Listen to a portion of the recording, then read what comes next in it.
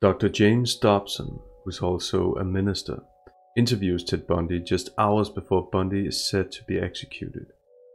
Bundy kidnapped, abused, and murdered his female victims and confessed to over 30 homicides.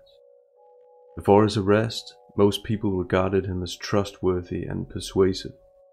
However, Bundy displayed an almost full range of psychopathic traits and is considered to be a psychopath by a wide range of psychologists. He was cunning, superficially charming, lacked empathy, and the ability to feel remorse. He enjoyed torturing his victims, killing them slowly, and having absolute control over them. In this interview, we gain a lot of insights into Bundy's personality simply by listening to the words that enter his language. In conversation analysis, which is my primary method, it's understood that the words we choose carry meaning and reveal what's on a person's mind, what's part of a person's agenda or strategy. You ask questions like, what does this word refer back to? How is it being repeated or avoided? Which patterns do we see? And ultimately, how can we characterize the killer based on his language? When analyzing an interview like this, you mark all the words and clauses that indicate deception. Some of the deception markers I will point out and explain during the analysis are switch of pronouns from I to you to share or shift blame, lack of so-called ownership of the words used, failing to say my, answering in the negative, words that indicate self-awareness, awareness about the interview and the subject's role in it, Distancing language. Words that distance the subject from the brutal acts he carried out. Longer prefaces that lead up to the subject's answer rather than the subject answering directly. Prefaces can have a self-serving or deceptive purpose. One of the primary reasons for this interview was Dobson's and allegedly Bundy's shared wish to warn people of the dangers of pornography, and violent pornography in particular. However, Bundy's primarily asked personal and specific questions.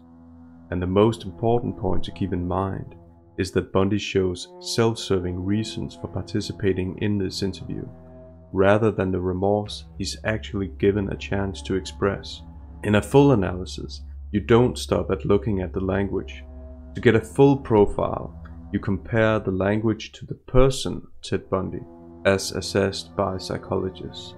So this video is a shortened example of how a conversation analyst would try to break down the language of a serial killer and possible psychopath. Let's go for it. Ted, it is uh, about 2.30 in the afternoon. Uh, you are scheduled to be executed tomorrow morning at 7 o'clock if you don't receive another stay. What is going through your mind? What thoughts have you had in these last few days? Well, I won't kid you to say that it's something that I feel that I am in control of or something that I've come to terms with, because I haven't. Notice that Bundy is answering in the negative here, and that he introduces the verb kid. He says, I won't kid you, as if kidding Dobson is something that has actually been on Bundy's mind. Also, we learn about control being an important thing for Bundy. We mark it for sensitivity. Answering in the negative shows us that certain words have entered a person's mind. Just choosing to preface the word with a negative like not or won't. Also sensitive language. For the record, you are guilty of killing many women and girls. Is yes. Yes, that's true. Ted, how did it happen? Take me back. What are the antecedents of the behavior that we've seen?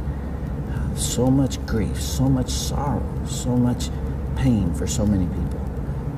Where did it start? How did this moment come about? That's the question of the hour, and, and one that not only people much more intelligent than I have been working on for uh, for years, but one that I've been working on for years and trying to understand. It. Is there enough time to explain it all? Uh, I don't know. I think I understand it, though. understand what happened to me. to the extent that I, I, I can see how certain feelings and ideas uh, developed in me to the point where I began to act out on them, certain very violent and very destructive feelings. Notice that Bundy shows awareness of his persona, almost treating himself as a celebrity. He says that's the question of the hour, as if he doesn't know his own motivations, and as if this question is highly important to everybody. Bundy considers himself important, obviously. He then says that people more intelligent than he have been working for years to answer that question. Here, Bundy presupposes that you have to be intelligent to even try to figure out his motivations, and also that he himself is intelligent. This appears to be a person who likes being looked at as an enigma. Then he disassociates himself from the murders he committed. He says, I think I understand what happened to me. First off, we notice that Bundy thinks he understands his motivations, meaning he was, after all, smarter than the intelligent people he mentioned. Next, we see that Bundy is taking a passive role here. Something happened to him. He's not the active agent. We also see that when he says, I can see how certain feelings and ideas have developed in me. Bundy doesn't take ownership of these feelings and ideas. They happened to him. They developed in him. They are the main subject, grammatically speaking. Let, us go back then to those roots. First of all, you, as I understand it, were raised in what you consider to have been a healthy home. Absolutely. You were not physically abused. You were not sexually abused. You were not emotionally abused. No, no way. I, and that's part of the tragedy of this whole situation is because uh, I grew up in a wonderful home with two dedicated and loving parents, uh, one of uh, five brothers and sisters. Remember, Bundy has brutally murdered a multitude of women. Still, he's downplaying this fact by saying whole situation, which is an extreme euphemism for what's going on and for what he's done. It also sounds disconnected and distancing. Furthermore, looking at Bundy's childhood, there are many indicators that his was not a wonderful home. For a huge part of his life, he was told his mother was his sister and there are reports that he was abused by his grandfather. And Bundy also didn't know his biological father. I hope no one will try to take the easy way out and to try to blame or otherwise accuse my, uh, my family of contributing to this because uh, I know, and I'm trying to tell you as honestly as I know how, what happened. And I think this is a message I want to get across. But as a young, uh, a young boy, and I mean a boy of uh, 12, 13, certainly, uh, that I encountered outside the home again uh, in uh, the local grocery store, the local uh, uh drugstore, the softcore pornography, what people call softcore. Um, but as I think I, I, explained to you last night, Dr. Dobson, in an anecdote, as young boys do, we explored the the back roads and sideways and byways of our neighborhood, and oftentimes people would dump the garbage and whatever they were cleaning out of their house. And from time to time, we'd come across so, pornographic books of a harder nature than uh, more uh, graphic, you might say, more explicit nature than we would encounter, let's say, in your local grocery store. People don't always change. Instead, they reveal. Words reveal what's on our mind, and sometimes they reveal our personalities. Bundy says, I'm trying to tell you as honestly as I know how. So being honest is something that Bundy is trying to be. It might be that it's a struggle for him, or he's been dishonest in the past, or both. Also, he adds, as I know how. These are unnecessary words, meaning his statement could be understood without these words. Unnecessary words are thus important or sensitive to the person using them. Perhaps we learn here that Bundy can only be honest to a certain extent, no matter what, we learn that honesty for Bundy is point number one, a word that he feels the need to express to the interviewer. And point number two, that honesty is something that he has to know. The way Bundy phrases this makes it sound almost like a strategy he's using. Bundy says he encountered softcore pornography, and he makes himself out to be part of a group by saying as young boys, we explore the back doors and the sideways and byways of our neighborhoods. Thus generalizing his own personal experiences and actions. Again, a way of disassociating himself from his own experiences, his own decisions.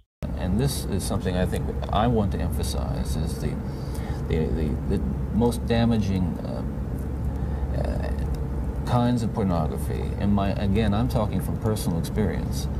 Uh, hard, real personal experience. The most damaging kinds of pornography are those that involve violence uh, and sexual violence. Because the wedding of those two forces, as, as I know only too well, brings about behavior that is just, mm. is just uh, too terrible to describe. Three points to this statement. We know that Bundy is a pathological liar, having lied to authorities and having lied to his victims. Ultimately, lying is a narcissistic act. Indirectly and in the moment, you consider the person you're lying to as being too stupid to realize it. So point number one should be that Bundy's way of phrasing it, this is something that I want to emphasize, sounds like a strategy. Again, these are unnecessary words, so they are important or sensitive to the person using them. It could be something he's thought of before this interview, making apologies for his actions while claiming they're not apologies. Point number two. This interview is about Bundy's motivations.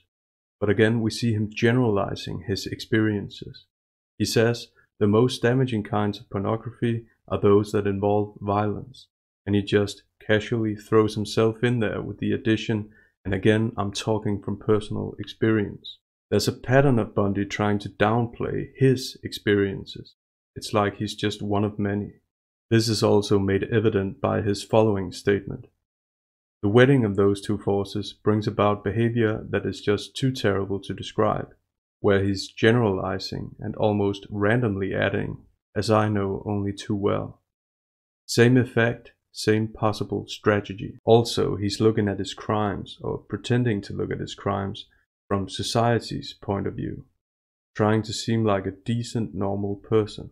Thirdly, he's giving a hint to Dobson that he doesn't want to detail his crimes. He says they're too terrible to describe. We see this again later on when Bundy is asked to detail one of his crimes. Now, walk me through that. What was going on in your mind at that time? Okay, before we go any further, I think it's important to me and, uh, and that people that people believe what I'm saying to tell you that that I'm not blaming pornography and not saying that it caused me uh, uh, to go out and do certain things. And I take full responsibility for whatever I've done and all the things that I've done. That's not the question here. The question and, and, and the issue is how this kind of literature contributed and helped mold and, and shape the kinds of violent behavior. Here we learn what's important to Bundy. It's important to him that people believe what he's saying. This can be paralleled with the strategy I mentioned earlier, a self-serving one. Then he seemingly takes full responsibility for his actions. But some points to that.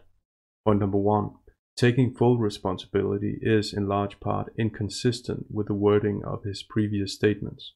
Point number two, he says, whatever I've done and all the things I've done, not being specific about his despicable crimes. Point number three, Bundy is skilled at looking through the eyes, or pretending to look through the eyes of the world, only to then make apologies for his actions. We see that here where he says, The question is how this kind of literature contributed and helped mold and shape the kinds of violent behavior. We also note the words, the kinds. He doesn't say my violent behavior or my kind of violent behavior. He's using distancing language. So I would highly question the depth of Bundy's taking full responsibility. It fueled your fantasies, didn't it? Well, in, in the beginning, it fuels this kind of thought process. Then, it, at a certain time, it's instrumental in what I would say crystallizing it, make it in, making it into something which is almost in, like a separate entity inside. And that in, at that point, you're at the verge, or I was at the verge of acting out on this on this kind of these kinds of thoughts. Now, I really want he doesn't say my thought process. He doesn't take ownership, but is again being general. Then he's making himself out to be a victim by saying, making it into something which is almost a separate entity inside. Again, a way of linguistically disassociating himself from his crimes and share or shift blame. And it happens, it, it happened in stages, gradually. It doesn't necessarily, not to me at least, happen overnight. My experience with, I say pornography generally, but with pornography that deals on a violent level with sexuality, um, is that once you become addicted to it, and I look at this as a kind of addiction, uh, like other kinds of addiction, of addiction, you keep, I would keep looking for more potent, more explicit, more graphic aggressive. kinds of material. Like an addiction, you keep craving something which is harder, harder, something which which gives you a greater uh, sense of, of, of uh, excitement. Until you reach the point where the pornography only goes so far. You reach that jumping off point where you begin to wonder if, if maybe actually doing it will give you that which is beyond just reading about it or looking at it. Bear in mind that this interview is or should be about Bundy. He should be our leading role. But again, he's giving himself a supporting role. He says, it happened in stages, it doesn't necessarily happen overnight. And then in between, he adds, not to me at least, as if he's just one of many others.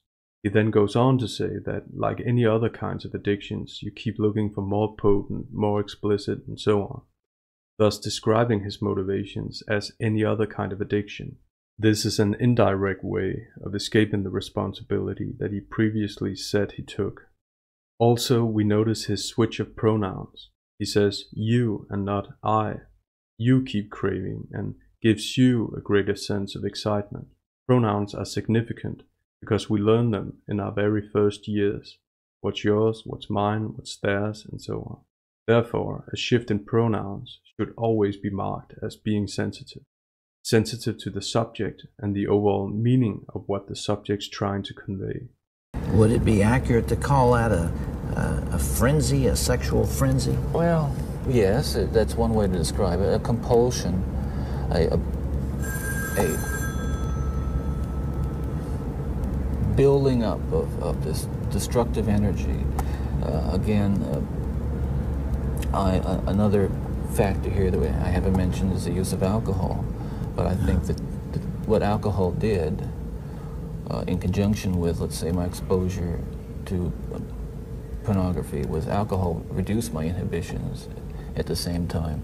Um, the, the, the fantasy life that was fueled by pornography um, eroded them further. Bundy introduces another apology or another point to make him seem like a victim of external factors alcohol, claiming alcohol reduced his inhibitions, presupposing that he actually had inhibitions like everyone else. And he now says the fantasy life that was fueled with pornography. Bundy sounds like an ordinary guy being exposed to these external entities. We also notice the word compulsion, which can be paralleled with the word addiction that he used earlier. Linguistically, his way of phrasing his answers sounds very much like self serving excuses, even though Bundy would claim that they're not. And it, it just occurred to me that some people would, would say that, well, I, I've seen that stuff and it doesn't do anything to me.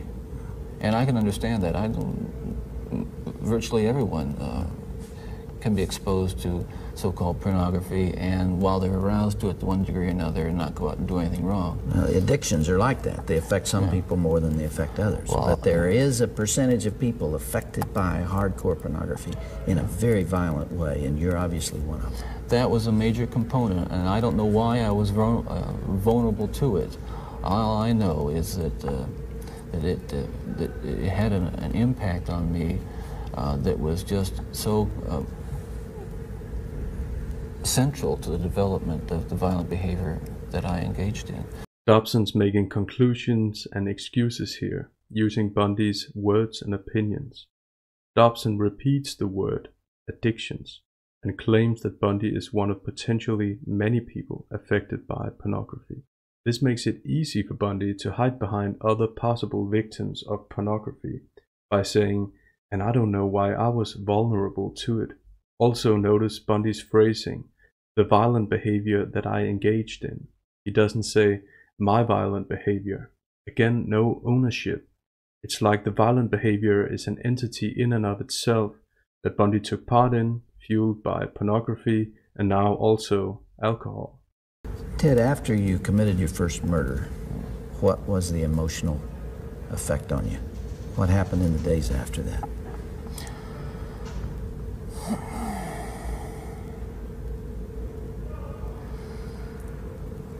Well, again, this, please understand that, that even all these years later, it's very difficult to, to talk to about talk it, and, and, and reliving it through talking about it uh, is, is uh, difficult to say the least, but I want you to understand what happened.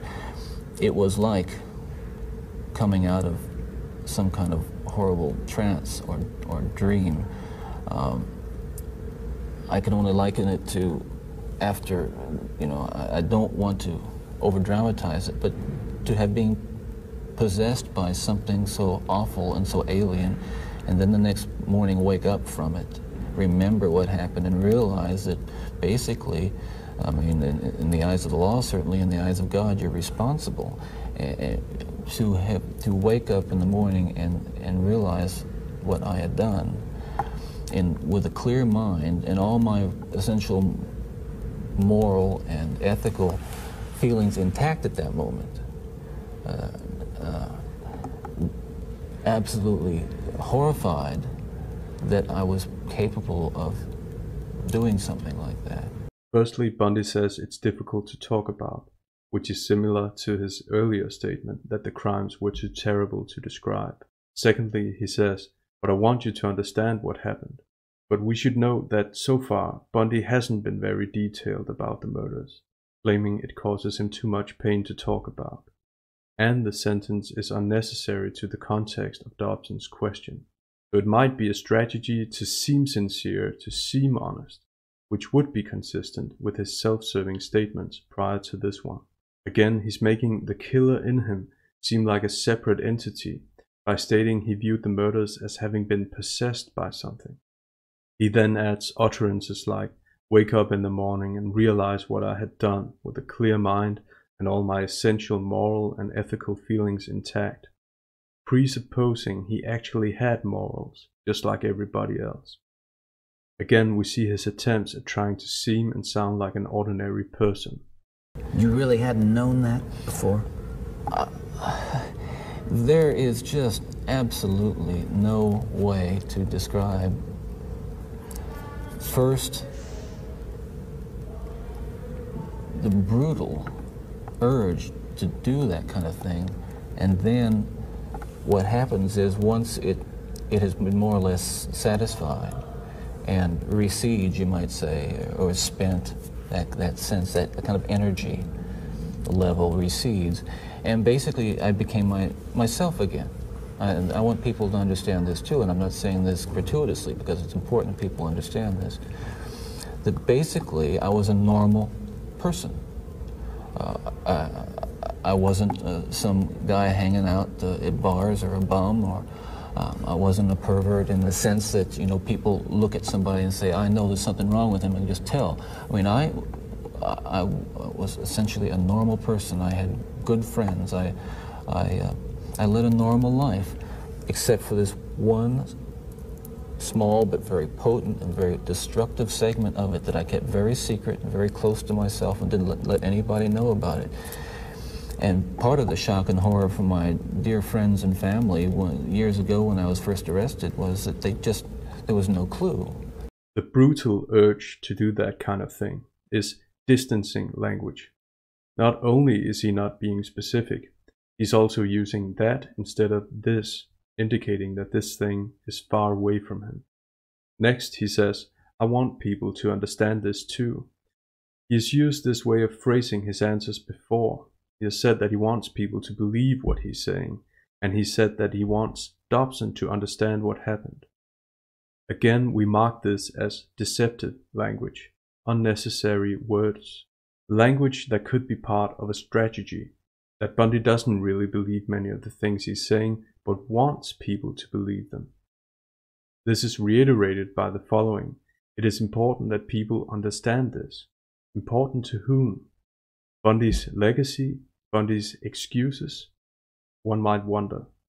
When people speak in the negative about who or what they are, their words become sensitive to the conversation analyst. Here Bundy says, I wasn't a pervert, followed by moderation in the sense that, and so forth. First of all, we should note that Bundy indeed was a pervert in almost every sense of the word. Without getting too graphic, he was a sexual deviant on pretty much all counts. Maybe that's why he's making the moderation in the first place. He knows he's a pervert and or is considered to be one, but not in the sense that he claims here, and he is indeed claiming. Without getting too deep into the science of body language, Bundy's touching of his nose while saying I wasn't a pervert should be mentioned. We see touching of a person's face when they're lying, and the touching of the nose is called the Pinocchio effect. Bundy then continues to downplay the small but very potent and destructive segment of his personality, just like he's done several places during this interview. He's using minimizing language. They looked at me and they looked at the, you know, the um, the All-American boy, and I'm, I mean, I wasn't perfect, but it was, it was it, I want to be quite candid with you. I was, it, I was okay, okay, uh, I was. Uh, the basic humanity and, and, basic spirit that God gave me was intact, but it, unfortunately it became overwhelmed at times. And I think people need to recognize that it's not some kind of the, the, the, those of us who are who have been so much influenced by violence in the media, in particular pornographic violence, are not some kinds of inherent monsters. We are your sons and we are your husbands. And we grew up in regular families. And pornography can reach out and snatch a kid out of any house today. He, he snatched me out of my home. It snatched me out of my home 20, 30 years ago and as diligent as my parents were, uh, and they were diligent in protecting their children, and as good a Christian home as we had, and we had a wonderful Christian home, uh, there is no protection against the kinds that the kinds of influences that are loose in a society that, that, that tolerates. Bundy continues to put himself in a passive role he says his basic humanity became overwhelmed at times, also making it sound like his urges to kill were temporary and perhaps even rare. Bundy then associates with many others, but in a more direct way than previously. He says, We are your sons and we are your husbands, and so on. Here he's speaking directly to the viewer, and his victim narrative is much clearer here, making it sound like external forces drive him and others towards committing the same types of crimes. Now pornography can reach out and snatch a kid out of any house, just like it snatched Bundy out of his house, apparently, as if Bundy is like any kid. Again, pornography is given full agency as the main subject. He ends with, there's no protection against the kinds of influences that are loose in the society, letting Dobson and the viewers know that these influences are ongoing and could potentially influence other people. It's like the influences have a will of their own. I'm uh, sure, Ted, if uh, you know, if I were able to ask you the questions that are being asked out there, mm-hmm. uh, one of the most important as you come down to perhaps your final hours, are you thinking about all those victims out there and their families? Well, who are so wounded, you know, years later, their lives have not returned to normal. They will never return to normal. Absolutely. Are, are you carrying that load, that weight? Is the remorse there? Again, I, I know that people will accuse me of being self-serving, but we're beyond that now. I mean, I'm just telling you how I feel. But through God's help, I have been able to come to the point where I much too late, but better late than never, feel the hurt and the pain that I am responsible for. Yes, absolutely. In the past few days, myself and a number of investigators have been talking about unsolved cases, uh, murders that I was involved in. And it's hard to It's hard to talk about all these years later because it revives in me all those terrible feelings and those thoughts that I have steadfastly and, and, and, uh, diligently dealt with, and I think successfully, with the love of God. And yet it's reopened that, and I felt the pain and I felt the horror again of all that. And I can only hope that those who I have harmed, those who I've caused so much grief, even if they don't believe my expression of sorrow and remorse, will believe what I'm saying now that there is loose in their towns and their communities people like me today whose dangerous impulses are being fueled day in and day out by violence in the media in its various forms, particularly sexualized violence. And what scares me, and let's come into the present now, because what I'm talking about happened 30, 20, 30 years ago, that is, in my formative stages. And what scares and appalls me, Dr. Dobson, is when I see what's on cable TV, some of the movies, I mean, some of the violence in the movies uh, that come into homes today with stuff that they, that they wouldn't show in X-rated adult theaters 30 years ago. This stuff Bundy is using the exact word self-serving that I've pointed out several times. So the word has crossed Bundy's mind as well. This shows a huge amount of self-awareness on Bundy's part. His I'm just telling you how I feel sounds as if he's trying to persuade rather than it actually sounds sincere or true. Because in the context of his previous statements, he's actually holding back and not being completely forthcoming Bundy says he now feels the hurt and pain that he's responsible for. But in the next sentence, we again see distancing language when it comes to mentioning murders. He says, Murders I was involved in, not committed, but involved in. This matches the distancing language in the large majority of his previous statements. Also, Bundy says, even if they don't believe my expression of sorrow and remorse, he doesn't say that I'm sorry or my sorrow, but my expression of sorrow and remorse. The word expression shows self awareness about what this interview is for and can make his alleged sorrow sound calculating. The last part, where Bundy says he's scared by the stuff they show on TV, Bundy linguistically comes across as a concerned citizen, again able to jump in and out of different roles from the perverted but supposedly remorseful murderer to the ordinary virtuous citizen. He's often been referred to as a chameleon that adapts easily to the worldview of the person he's talking to. And the final and most basic point, he was asked if he feels remorse. Is there remorse there? And he doesn't have a simple yes answer to that question, which would be an easy question to any ordinary person. That stuff is, I'm telling you, from personal experience, the most, that is graphic violence on screen, particularly as it gets into the home yeah. to children who may be unattended or, or unaware that they may be a Ted Bundy who has that, that vulnerability to that, that predisposition to be influenced by that kind of behavior, by that kind of, of, of uh, movie, that kind of violence. There are kids sitting out there switching the TV dial around and come upon these movies late at night or I don't know when they're on, but they're on and any kid can watch them. It's scary when I think what would have happened to me if I had seen. I mean, scary enough. I mean, that I just ran into stuff outside the home, but to, be, to, to know that children are watching that kind of thing today or can pick up their phone and dial away for it or send away for it. Uh, He's making a general point about violence on screen, again pointing away from himself, only using himself as additional proof of this bigger point. Now he's talking about all children, all people, and he refers to himself in the third person, Ted Bundy, which shows self awareness about his persona, a thinly disguised love of the image he has in the public eye.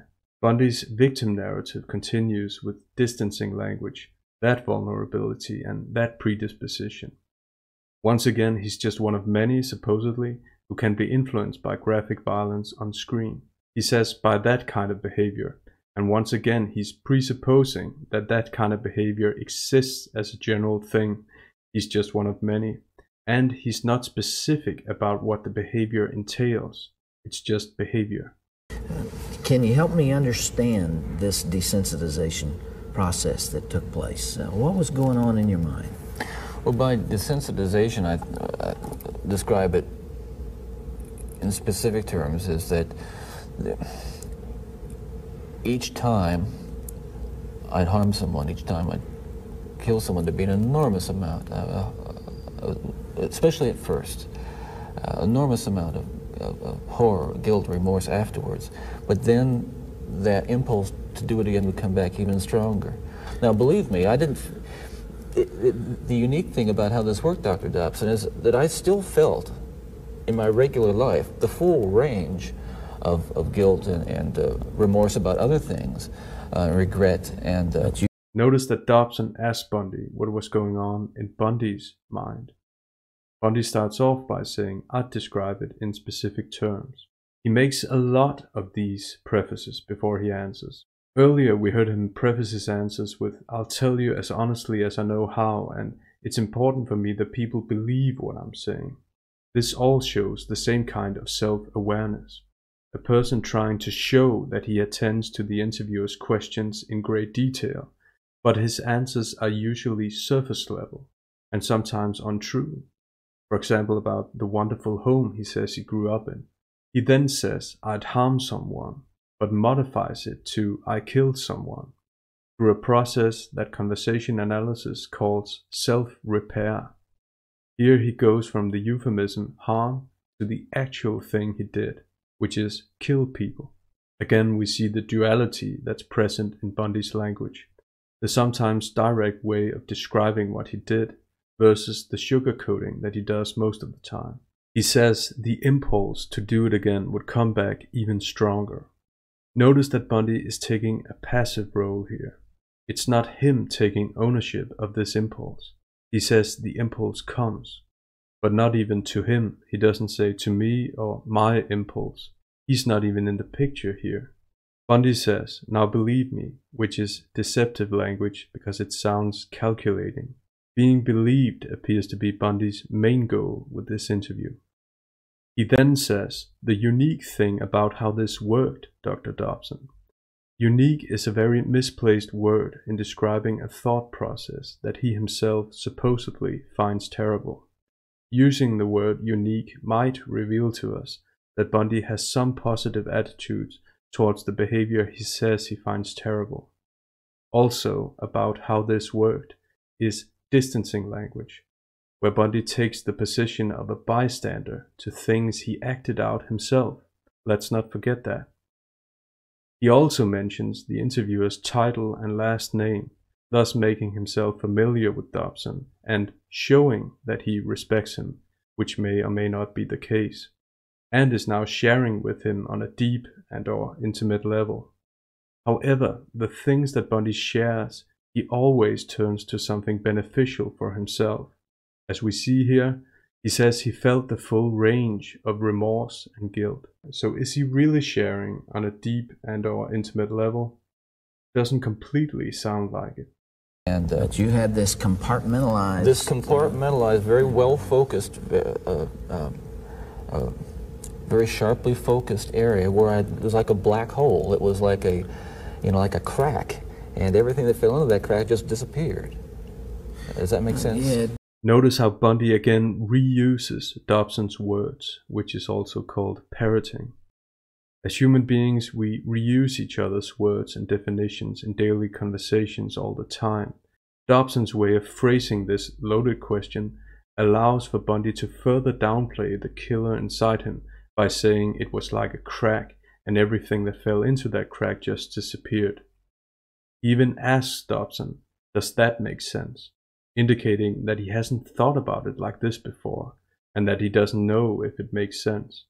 It does. Uh, one of the, the final murders that you committed, of course, uh, was apparently little Kimberly Leach, 12 years of age. Uh, I think the, the public outcry is greater there because an innocent child was taken from a, from a playground. What did you feel after that? What, was there, were there the normal emotions three days later? Where were you, Ted? I. I can't really talk about that right now. That's. Yeah. That's too painful.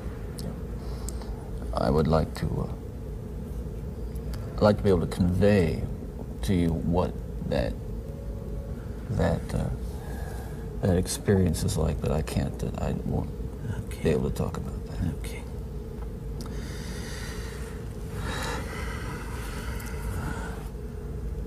Dobson brings up Kimberly Leach, whom Bundy abused sexually and murdered. Bundy says, I can't really talk about that right now, and then says that again before he stops himself. That is distancing language. Plus, if he's not able to talk about that right now, he never will be ready. Bear in mind, this is just hours before his execution. He says he won't be able to talk about that. But again, says who? He's setting the boundaries himself, despite claiming he wants to be as specific and honest as possible. During the entire interview, Bundy's demeanor is humble and apologetic. However, here we see a slight glimpse of anger and resentment in Bundy's face before he returns to being humble and apologetic. Perhaps he didn't care for this very specific question. I can't begin to understand. Well, I can try, but I'm, I'm aware that I can't begin to understand the pain that the parents of these of these children that I have and these young women that I have harmed feel. And I can't restore really much to them, if anything. And I won't pretend to, and I don't even expect them to forgive me, and I'm not asking for it. That, that kind of forgiveness is of God, and if they have it, they have it. If they don't, well, maybe they'll find it someday. Bundy says, I can't begin to understand two times. And he could be right. Maybe his language use is true here. Maybe he really can't understand basic human emotions of the parents of the children he harmed, once again using the euphemism harm. He also says he won't pretend to be able to restore much to them. Again, why does the word pretend enter his language? Might it be for the same reason he used the verb kid in the beginning of the interview? I won't kid you. It's the same construction type. We have a negative won't followed by a verb that shows self awareness and a deceptive mind. Do you deserve the punishment the state has inflicted upon you? That's a very good question. And I'll answer very, very honestly. I, I don't want to die. I'm not going to kid you. I'll kid, kid you not. Um, I deserve certainly the, the most extreme punishment society has, and I deserve, I think society deserves to be protected from me and from others like me. That's for sure. Um, I think what I, what I hope will come of our discussion is I think society deserves to be protected from itself because because as we've, as, as we've been talking, there are, there are forces at loose in, in, in this country, particularly, again, uh, this kind of violent uh, pornography, uh, where, on the one hand, well-meaning, decent people will condemn behavior of a Ted Bundy while they're walking past a, a, a magazine rack full of the very kinds of things that send young kids down the road to be Ted Bundys. That's the irony. Bundy says, I'll answer very honestly. Again, why does the word enter his language for the second time? Why is being honest something that he has to mention? Why is it not just presupposed? The word hints at Bundy not having been honest during the interview and or distinguishing between different levels of honesty. No matter what, it shows self-awareness and along with the following I'm not gonna kid you, I kid you not, points at deceptive language use. just like the verb pretend did. Then Bundy continues to hide behind other potential Ted Bundys that are sent down the road to be Ted Bundys. Again, agency is removed from Bundy's language. He's in large part blaming personal decisions on external influences.